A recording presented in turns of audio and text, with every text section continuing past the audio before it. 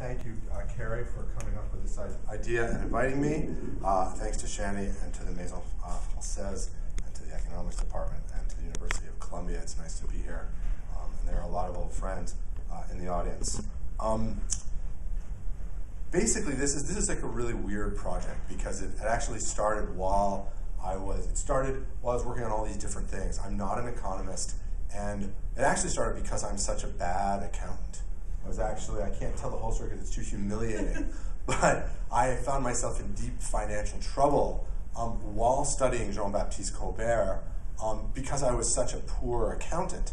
And I was studying Colbert doing amazing accounting, which I'm going to talk about briefly. I was like, what? And I was like, how can this be happening? You know, I mean, how can someone who goes to, you know, these uh, gets a major PhD in the modern age, you know really nothing about this. An economist, you don't realize how little people do know about this. And I became sort of more fascinated by this odd sort of disconnect in modern education with accounting. Um, and then, um, so a couple things happened. Um, essentially, one thing that sort of struck me, well, I'll just sort of tell the story.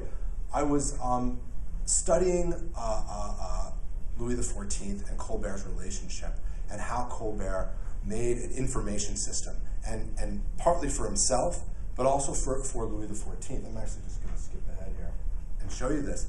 And um, sorry, this.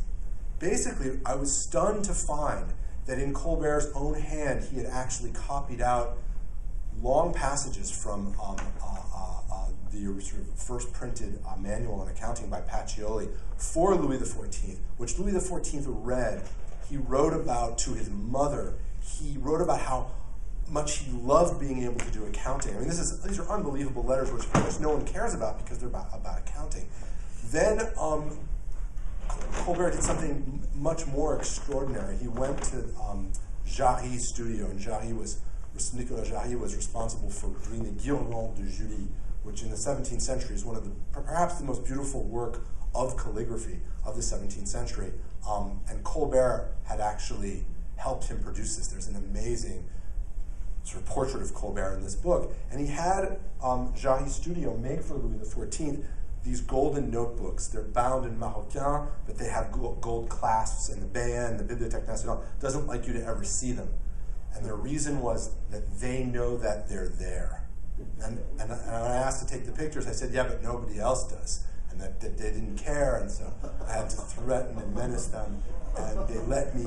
It was a long, stressful, you know, kind of bad fail between me and whatever. But I got the pictures, and I was stunned by these books. For 20 years, Louis XIV keeps these basic account books in his pocket. They are basically income and expenditure, um, and then they actually have his capital holdings, which I also know that he knew enough about land and what things were worth to understand these capital holdings very, very well in the back of each book. For 20 years, Louis XIV holds these in his pocket. Um, and that's already amazing because kings didn't do that. I, and I'm writing a book about this now. There's a whole reason that kings don't look at account books. Philip II bragged that he looked at every piece of information on earth, but he didn't touch the account books. There was the, the, Spanish did accounting everywhere, but not Philip II. All information interested him except accounting. This was not a thing that was seen as a good thing to do. Accounting was associated, at least for high aristocrats, as a kind of lower uh, mercantile thing. So for Louis XIV to take a joy in this and to do it for 20 years seemed to me to be sort of a grand moment in the history of statecraft. And there was enough evidence to show that this was the case. This happened. It was a, it was a fairly big deal. But what was even more interesting to me, and this sort of coincided with my own personal incompetence, lack of knowledge, disconnect from accounting, was that Louis XIV, when Colbert dies, he ends the books. He doesn't just end them, he ends the actual system by which he could get good accounts. And he breaks up uh, uh, the ministry of finance from the Ministry of the Navy and actually kind of breaks it up from other things too, like the Royal Library, which is really necessary, believe it or not, for accounting because so many legal texts are going in and out of it. Um, so Louis XIV essentially makes or stops reforms or breaks up institutional uh, uh, uh, frameworks which would allow him to actually understand his accounts well, or at least anybody else to understand them. Another reason was really, you know, in the in the years leading up to Colbert's death, death in 1683, the financial news just kept getting worse, and, and Louis XIV just didn't like it. Um, and this, by the way, is no small deal. This is a great human trait that we like to drop the account books when they start getting bad, um, or perhaps change them around. Um, so I was sort of stunned by this, and I put it aside, and I said, "This is really interesting, um, and and I want to understand more about just because this king, this sort of you know divine right monarch, who secretly writes letters to his mom about how he loves accounting." Okay? So this is not how we see Louis XIV in his youth, you know, having love affairs in rivers covered with rose petals, you know, as Dumas liked to sort of tell it. No, he was sitting learning this account stuff. Um, we also know that Louis XIV loved the sort so-called métier du, the, the métier du roi, the business of being king. Yeah, well then why did he destroy his system? So there are all these sort of questions in here which really, really interested me. And I was like, you know what? I think there's a project in here. And so I sort of started digging. Now, just one sort of note. Um, then, just a sort of side note, as this sort of project was happening, the financial crisis happened. Um, lots of financial crises have happened all over the place. But, and you'll understand why this interested me after this paper. Um, one of the things that stunned me the most as I was studying um, uh, basically the interest in numbers in government and the representation of good government by numbers was the fact that in our, in our own political discourse, numbers had taken on a very strange and odd role. And when uh, uh, America's credit rating was downrated by the S&P, two hours later, uh, uh, uh, some assistant guy in um, the Treasury Department said, hey, there's a $2 trillion error. And I was like, all right, this is what I'm studying. And so I ran, and so I ran to the Treasury Department website, and this is what they gave. Okay, this is it. Besides a few explanations. Then I said, this is going to be great. There's going to be this 18th century style debate about numbers and how some people calculate the deficit or spending and how some people do it differently. And so I went to the Wall Street Journal, I went to Bloomberg, just some vague stuff 5% difference, um, you know, how much revenue is going to come in. It was incredibly vague. And I was like, wait a minute. We're literally, the United States of America is getting downgraded, its credit rating.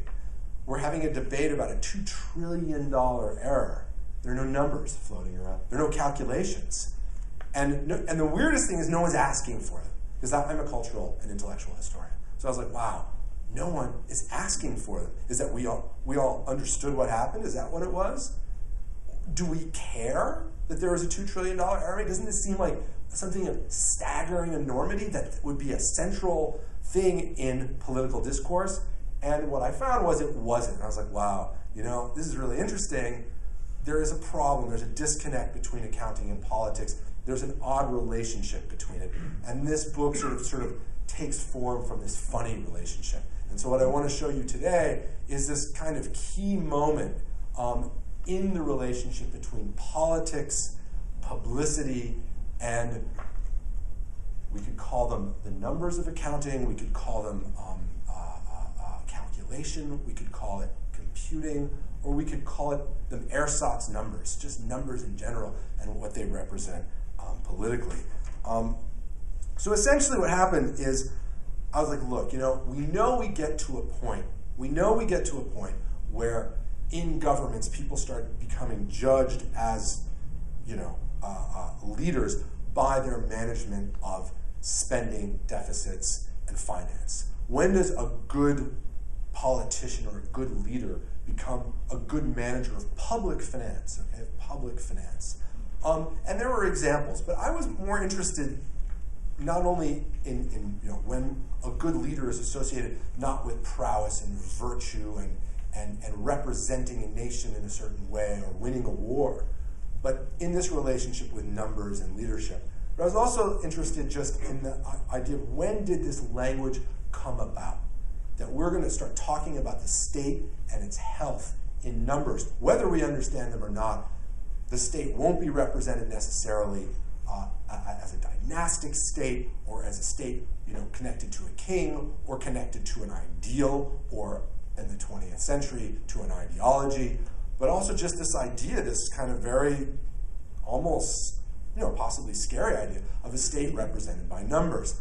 Um, well, we know that there's the birth of statistics in the 18th century, but again, I wanted to know when people start talking about a certain kind or showing numbers as political virtue. So I said, well, obviously it doesn't happen in France. So I looked everywhere else. um, and I go back to Italy, and I, I, and I had to dig deep into Dutch history, and it was impossible. I spent like a year not being able to really master 17th century Dutch. And in spite of my this MacArthur, I still failed at it. You know, I know what kind of genius. I was like, luckily they didn't know about that. You know, so um, um, uh, I, I, um, I looked at the, um, uh, uh, the, the, the, rise of political economy and the first authors of political economy.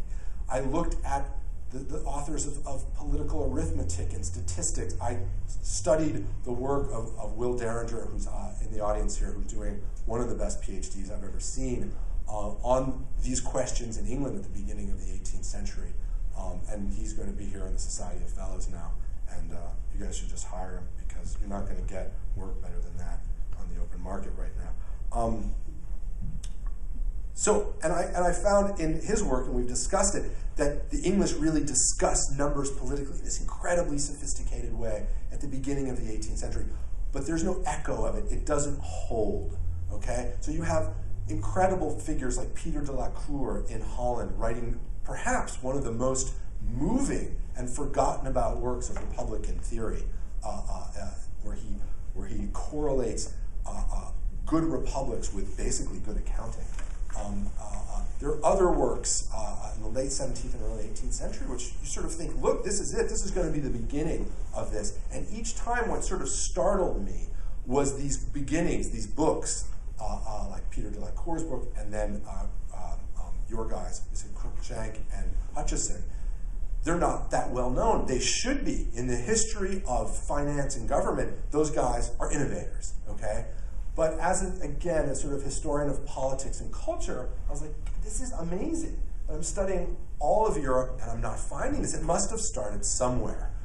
And so, of course, I just went back to Paris to drink because I couldn't find what I was looking for. I was like, you know, another project bites the dust. And I went to the library and um, and I started looking into the 18th century in France, and I knew that there were numbers out there. And I was like, you know, maybe they start here. And I knew about Jacques Necker's Compte Rendu, and I had read about it, and actually some of the best work about it has never been published. It's actually in Bob Darnton's PhD, which is, uh, uh, uh, uh, I just got digitized at Harvard. Bob goes some way with it, but it was, this was interesting. And so what happened is I started dig digging into Necker, and I started finding this was, I believe, this sort of major, major moment where political discourse and the numbers of accounting become fused and become wildly popular. So it's not the first time, but it's this kind of incredible moment where government and good government, quite literally those words, it's not the first time they're used together, but it becomes public, it spreads across Europe, and then what I'm going to try and show you today is it becomes a movement, a movement so extreme within the French government um, that uh, a tradition, an institutional tradition is formed that becomes so strong that even the English, for once, look to France and actually send people to France, as I'll tell you at the end, to say, wow, how did you guys do this? And one of the reasons French public uh, uh, uh, financial management and the vision, this modern vision of the state, come from a moment of political publicity. Uh, and so that's what uh, I want to talk about today. Um, now, what's amazing is, is the Compte Rendu uh, by Necker, 1781. The, the, the Compte Rendu au roi, the accounts rendered to the king, not to the public, to the king, is one um, is is an amazing uh, uh, is an amazing work. Now, essentially, what I wanted to also do was I wanted to try and understand this sort of long history of the French relationship to numbers. And I found something even more, even sort of bizarre. And this is something we don't necessarily usually uh, uh, talk about, is deep within the French government for a hundred years, there had been an argument about whether to define the state through the numbers of accounting. Nobody knows about this because these are internal memos.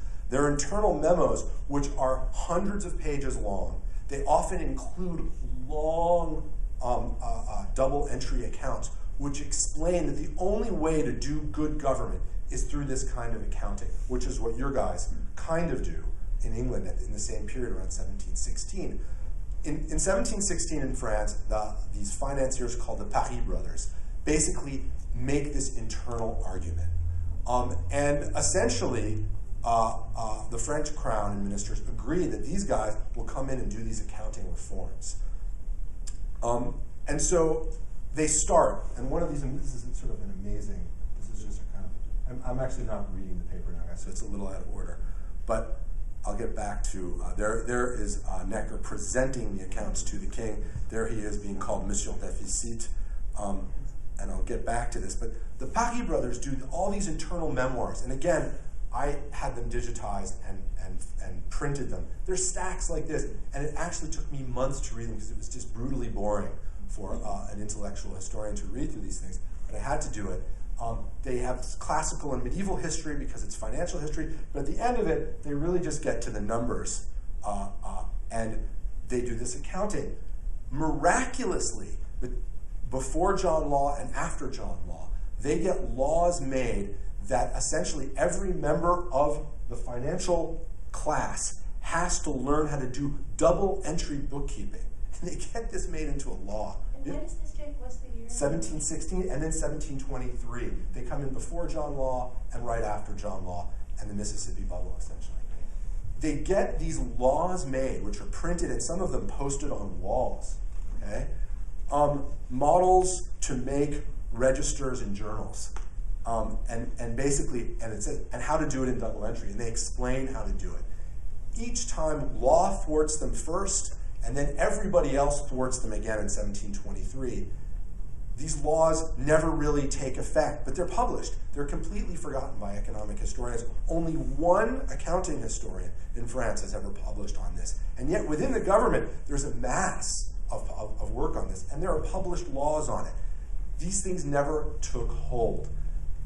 When we get to the physiocrats in France, credited by many as the early inventors of uh, economic thought, they will produce Turgot, who, by the way, tried to do a lot of these same accounting reforms, and, and I'll mention that again. Uh, uh, and you know, as a kind of basis of, of, of, the work of Adam Smith, they like to throw around sort of economic tableau, and they, but they didn't like these numbers. In fact, those numbers were too associated with people who were connected to Colbert. And so you had a few Colbertistes, a guy named Forbonnais, who's an amazing guy, whose work looks a lot like Cruikshank's because he talks about the amortizement of debt um, and, and, and, other things. He produces uh, a, a, long work on uh, accounting in the state, but he says, I have to do this from the exterior. I can't get these numbers. So he produces this really remarkable work. It's only published twice, and it does not have a huge echo. And so I was like, wow. So the compte rendu, which I'm about to describe to you, like you know, this this thing sort of comes out of an odd vacuum in France. And I became more and more interested by it. Um, hold on here. Um, and so essentially, I went back to Necker and I tried to understand this context in which um, Necker uh, does something that really, really uh, no one had ever uh, done before. Um, Necker comes in to government, as I think many people know, uh, at the height of the uh, uh, uh, American War of Independence. It's the same moment that both the English and the French are having financial crises to pay for this war, and the French uh, bring Necker in um, due to his popularity um, and due to his relationship with uh, Genevan and other bankers um, to secure loans. Um, I was actually recently uh, in Lausanne with a whole bunch of Swiss people And um, it's really interesting because they were talking about these moments when parts of Switzerland owned France and England. And there's just these sort of amazing moments. So to bring in this Swiss financier uh, makes an enormous uh, amount of sense. Um, not only that, Necker um, uh, uh was, uh, uh, his wife had a very well-known salon. It was before his daughter, Madame de Stael, came into her own. He was well seen among philosophes. He was a popular figure amongst many. Um, and essentially, he's brought in uh, uh, in uh, the 1780s to do the reforms exact, almost exactly to some extent that the Paris brothers and uh, uh, Turgot had failed to do, which is to try and get the financiers to keep double entry books so they could actually figure out tax receipts and just to figure out how much money the government actually had and was spending. Simple stuff, but not if, if you don't use, nobody uses double entry, it's not very simple. Um, so what he does is he tries to install a centralized system of tax collection and auditing. Um, uh, uh, and this threatens everyone who's involved with finance because everyone has a hand in this pot. Um, the parliament ha has a hand in this pot because they have to, uh, uh they get cuts from the financiers and they have to register certain things. Um, uh, high nobles have uh, an interest in the accounts not being good because everyone's worried about getting taxed. And so no one wants clear accounting done at any point. And I'm, and I'm kind of exaggerating. There are other nobles that do want it, but really at the end of the day, there's a great movement against, against these reforms which threaten so many entrenched uh, uh, uh financial interests. Um, he tries to streamline the tax and postal farms and cuts the number of venal administrators to save the crown enormous uh, uh, revenues lost to feudal office holders. Um, and he does eliminate three quarters of the 48 tax collectors, regisseurs, into 12 heavily audited officers.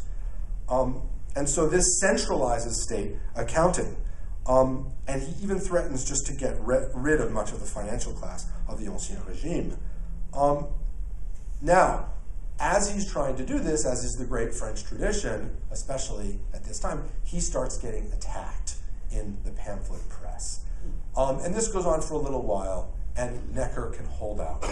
Um, and essentially, um, this movement of uh, uh, I mean, uh, this movement of pamphlets will be called the necromanie, uh, uh, a necromania uh, around Necker. But what happens is slowly he starts getting dragged through the mud. He sort of stays, you know, uh, on Olympus for a while, but in 1780, uh, one, uh, uh sorry, I, I said 1780, one libelous anonymous pamphlet stands out. And it is by this guy uh, named Jacques Mathieu Augeard. And Augeard writes something called the Anonymous Letter from Monsieur Turgot to Monsieur Necker, which is filled with lots of financial information. It's a narrative of Necker's bad administration, but it has numbers and it has bits and pieces of accounts. And it does more. So it has numbers and it looks really plausible. It looks like the person, it looks like it was a leak, okay? It looks like it came from within the government. The government is, doesn't produce financial numbers, so this has quite an effect. But he goes further, and he attacks Necker as a Swiss banker bent on draining money from the state. He says that um, he has taken people's fortunes away and has he himself has a huge, huge fortune, and he names numbers. And then he says, you know, this is a citizen of Geneva who knows better than I and everyone else the ABCs of the business of keeping um, of accounting and keeping registers. He says he has an esprit encyclopédique, and that this really is nothing more than the little calculation of banks and money. So he throw, it's, an, it's, a, it's a brilliant move. He throws numbers at him and then says, but, but all this guy cares about are these little calculations. So it's a double move. And this hurts Necker. Um, uh, uh, himself called the pamphlet a devilish success. Uh, Madame du Deffand said that 6,000 copies appeared immediately, went throughout the court. Necker was hit, and he had to uh, react. Even more than that, uh, publishes uh, and this is strong, a tableau comparatif of the laws passed by John Law and by Necker. This is after everything. And what it says is these are the same laws. He's going to bring us to financial ruin. people should be panicking about this guy. So this is a real attack on Necker, and Necker basically has to respond. He's got to do something. Um, he couldn't keep his hands clean. Um, and Necker is really is a brilliant guy. I mean, his writings might not be fantastically brilliant, but he understood the world of Parisian and actually more than that of, of European information. He understood credit. He understood a lot of things, and he came up with this brilliant move to publish uh, the Compte Rendu.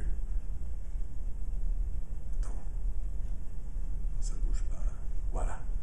Um, in fact, this was the kind of gesture that Vergennes, the foreign minister, had worried that he would do when he was appointed, because this was an enlightened guy. Um, and he did it without um, royal permission, even though it, uh, it um, um, even though it uh, uh, uh, was published. And essentially, what he did is he claimed to reveal the veritable accounts of the government, and he hoped that quote this publicity would restore public confidence in his administration by shining light on the obscure writings and the mystery of state of finance. And what he does is he uses this old traditional political language of Tacitism, and by the way, of Machiavellianism and Tacitism. He even has in some of the Compte Rendu big quotes by Tacitus on the front. So veils have been put over government. He's going to unveil them with this Compte Rendu. Um, uh, and this will be a moral act, he says, of moral, prosperous, happy, and powerful government. Um, at the end of his calculations, and here, his, here is his, here's his compte rendu. He comes up with this which we can't see very well, which is uh, uh, uh, um, uh, his calculations, his revenues exceed expenditures by 10,200,000 livres. Uh, and this shows the power and the prosperity of not only the sovereign but his subjects. So he literally says this 10 million livres shows the power of Louis XVI. Um, this had amazing uh, uh, success. Uh, uh 60,000 copies. Panckoucke, the publisher uh, uh, of the of various encyclopedies, printed 60,000 copies in a week. Okay, more than 100,000 copies were sold in 1781 alone. Some were translated across Europe. Um, my friend Sophus Reinert, who counts many of these financial publications, he thinks that there are hundreds of thousands of copies of the Compte Rendu running through Europe. It was a literal media phenomenon. Uh, and one of the things I know is that they were read by princes, and princes like Pietro Leopoldo, of, uh, uh, uh who was perhaps in some ways the most successful enlightened prince of his age, um, actually wants his own uh, rendiconto in Florence uh, uh, of, of, of, financial things. So it has a huge, huge echo. Um, now, to sort of move forward, he was immediately attacked. And Vergennes actually says to Louis XVI, how could you have let this happen? We can't let this go on. He's attacking reason of state. He's attacking the secret and the mystery of monarchy itself. Monarchy, which was supposed to be the will of the king is now being shown. He literally said, Your power is in the, these numbers. This is a bad thing. Um, so there's a realization. Um, it takes a little while for uh, Necker's uh, uh, uh, uh foes to pick this up. Um, but basically, um, by 1787, uh, so years go by, Necker loses his ministry, and other ministers come in. And in 1787, the, the, uh, the Controller General of Finances of uh, Calonne finds himself in a position in front of the Assembly of, of Notables where he has to defend this massive state deficit. And he produces another book, a Compte Rendu against Necker, in which he comes up with loads of numbers and basically says, look, this deficit that I'm dealing with is Necker's deficit. And Necker did not include 46,329 thousand pounds in his compte rendu. And so essentially, a war of numbers goes on between Necker and Calonne. And this is when this really takes off. Because interestingly, at first, Necker's compte rendu is taken kind of seriously.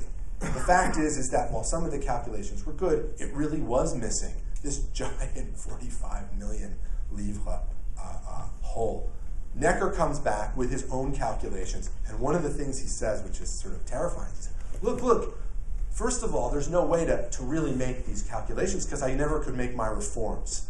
So no one did double entry bookkeeping, so I couldn't actually get the real numbers.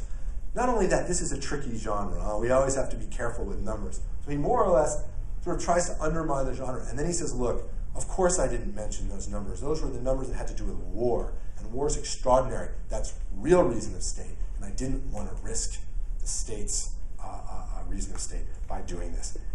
This only essentially uh, uh, sets off a war over numbers. And then something happens. Um, essentially, in, 17, uh, uh, in 1788, a number of leaks start coming out of the government um, of, of kind of uh, uh, uh, uh, basically budgets, state budgets are leaked out. So they actually have the year of income and expenditure get leaked out by a guy named Mathon de la Cour.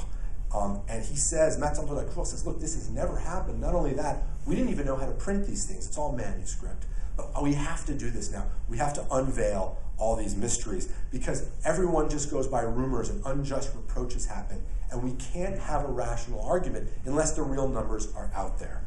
Um, and so essentially, uh, by 1789, a flurry of, uh, uh, uh, of come out. And then, even more, a number of works equating good government with accounting and double entry accounting come out the new Encyclopédie méthodique, which I think is, I'm going to argue, the cool encyclopedia of the 18th century, um, which not that many people reference, but it's the second encyclopédie that comes out, which is never finished, and Panckoucke loses a million livres doing it. It basically has a whole three volumes on finance and commerce, and it takes up accounting and these accounting reforms and really starts talking about the state in this new way. Rather than commerce and finance as these kind of grand philosophical things, they become these kind of very technical things deeply linked to accounting uh, and the use of double entry. Um, now, Necker, I think as many people know, uh, is dismissed on the 11th of July 1789.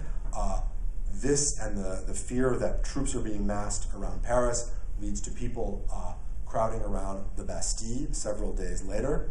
So Necker and his popularity uh, are very important things.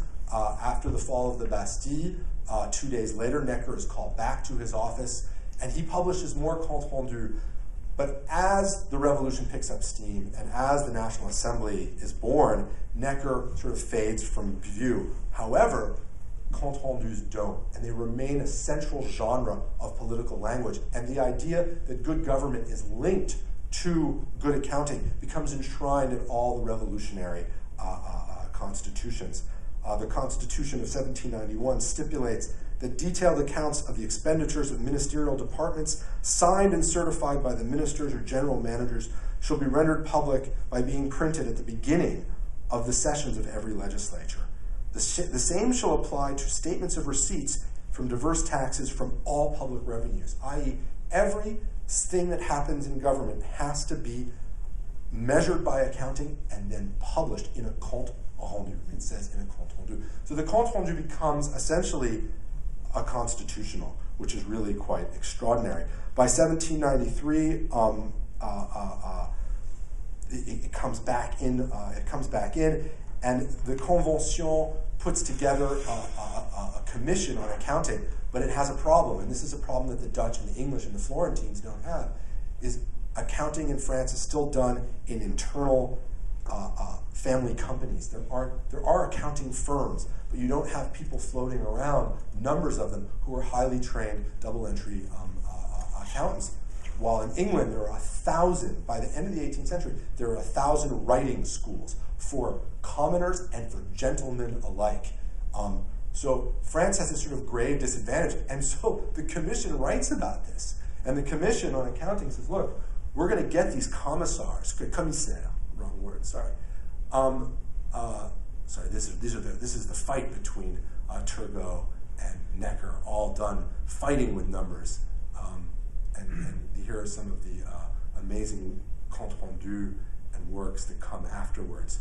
Um, but this commission that comes out, that might have actually been it, but I just pressed the button, so it's going to change.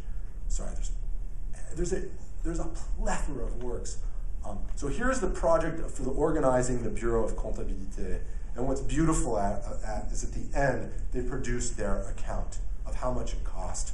Uh, 499,001 livres. And they say it's really expensive because we had to train everybody from scratch.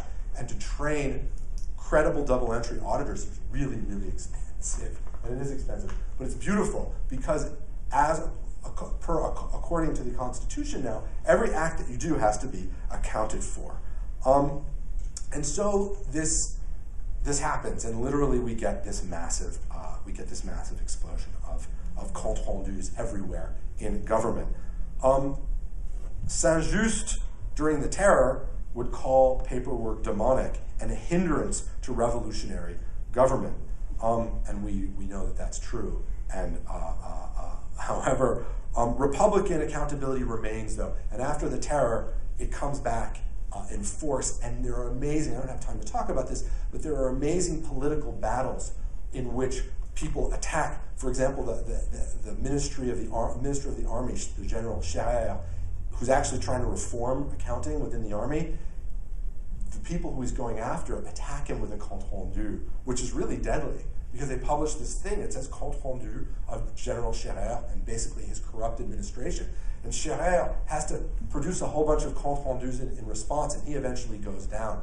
Um, uh, and a number of people, uh, uh, uh for example, uh, uh, Ramel, who is Minister of Finance, he's attacked as well. And in order to defend himself, he too produces his own compte rendu. So this goes on, this idea of the compte rendu as political language. But there's something even sort of deeper that happens within the government. And this was actually, in some ways, the funnest part of this project, is that, um, so again, it just keeps going. There just, you can just dig into these, into these uh, uh, works, which by the way, in many cases, when you go into the collections in France and in America, of revolutionary uh, uh, documents. They've never been opened because they all say accounting on them. And, and, and, and no, nobody cares. They just say compte rendu, compte rendu. Luckily, at the University of Pennsylvania, um, they have the Maclure collection.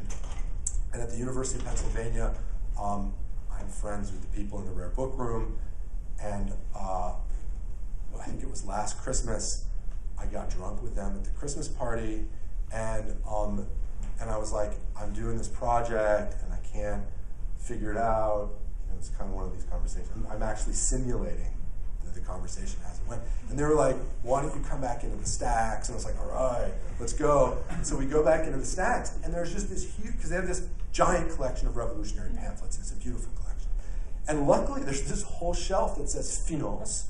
And on that shelf, there are several shelves, but one of the shelves just say compte rendu. There's literally a shelf of compte rendus.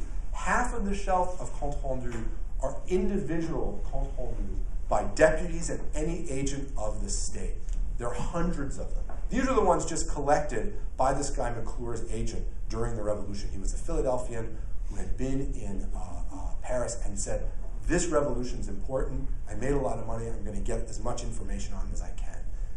Hundreds of these things. Every single person that goes en mission for the government has to produce basically these one to three page compte rendus where they uh, essentially um, they kind of confess. It's like a miniature confession uh, uh, of um, uh, what they do. And on one occasion, uh, the deputy Albert from the Department of l'Aube and Le Maine explains how he took 9,999 livres from the Treasury, spent 1,262 on transport, 16,958 on food and lodging for 25 days, and 617 for aid to the poor, plus. Um, this cost him 14,825 uh, uh, livres, more than he had taken. Therefore, he deposited his receipts to the Inspecteur du Palais. He returns his coach and his cow to the National Depot, and he's waiting for his uh, to be reimbursed. But nonetheless, this is published, and it's published uh, uh, by the, the, the imprimerie of. So hundreds of these things come out. So essentially, every agent of the government is forced to think about their acts in these kind of very simplistic and basic terms of accounting and this kind of confession, Republican confession of accounting. And at the higher scale, all the ministers have to uh, uh, produce these very detailed compte rendus. Uh, and Isser Woloch actually um, has told me that a lot of these compte rendus, they, they really work. A lot of them audits. They make a huge difference. They don't stop corruption by any means. And we all know the more accounting that's done, the more corruption you can do if you're clever. I mean, it, but he said there really is this amazing moment where provincial tax receipts and management do get better because everyone has to produce these compte rendus and send in their receipts. Um, so, and there, by the way, there is this long, long reference, series of references to Necker's rendu. People will often say, like Necker's compte there is a real consciousness that this begins with Necker. Um, so by the time we get to uh, uh, uh, basically the end of the Napoleonic era, France starts putting into place a, a, a, the beginnings of a modern um, system of public accounting with true balance sheets. Um, and what's really ironic, conclude here, what's really ironic is that uh, uh, uh, uh the, the Comte d'Artois, who had been Necker's most terrible foe, because in the Compte Rendu, he talked about the money that the crown paid to Artois, and he also talked about um, how much the princes of the royal blood ate, and the, and the, and the frais de table of the Maison Royale. So these guys already are rich, and they're getting huge amounts of money, and Artois hated him, and in fact paid for a lot of these pamphlets against him. Weirdly, Charles X, no one looks for for these things, gets this guy, the Marquis d'Audiffret, and the Marquis d'Audiffret comes in and really working on this huge tradition of compte rendus, and he says that he's doing this, creates one of the first, if not the first large scale um, national budget based on double entry accounting. It's not the first national budget, but it's so large scale that in 1830, Sir John Bowring of uh, the British Commission that's been put together to put together their reform bill, Bowring, by the way, one of the most fascinating figures of the early part of the 19th century. He supposedly speaks 200 languages, will become governor of Hong Kong, and fights for local rights in Hong Kong. But he's also an expert in accounting. He goes to uh, uh, uh, uh Paris, works with d'Audiffret, and many of the accounting reforms because he wants to see a large-scale centralized accounting reform and how it works. Um, and he reports these in these amazing detailed reports back to the commission uh, uh, on accounting uh, in England. Um, so essentially, I mean, this is a sort of chapter of my book.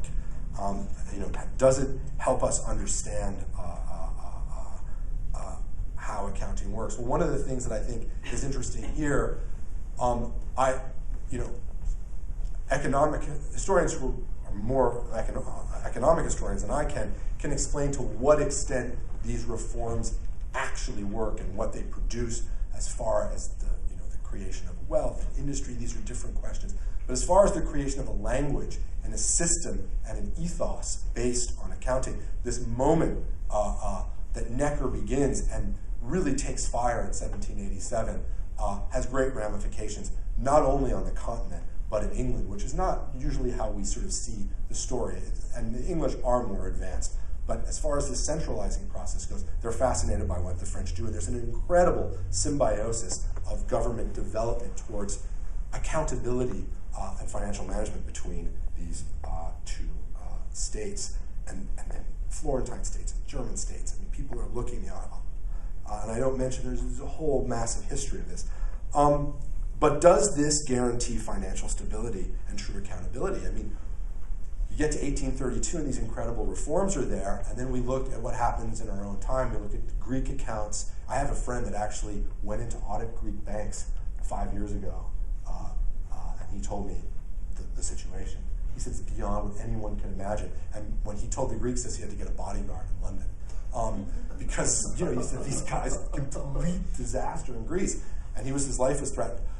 So do state accounts produce accountability? Well, not if they're false. Um, one of the things, what we do get in the 19th century, the precise moment, I think, since it's the you know the, the, the uh, bicentennial of, of, of, uh, uh of Dickens, um, you know Dickens, Balzac, and many writers, um, and actually Defoe before them, mentioned this problem, this conundrum of accounting, that it gives you this assurance, but of course behind it is actually, as Balzac, because he used the metaphor a lot, is really this human comedy. And, you know, and basically we're still living it today, and that's kind of what my book is about.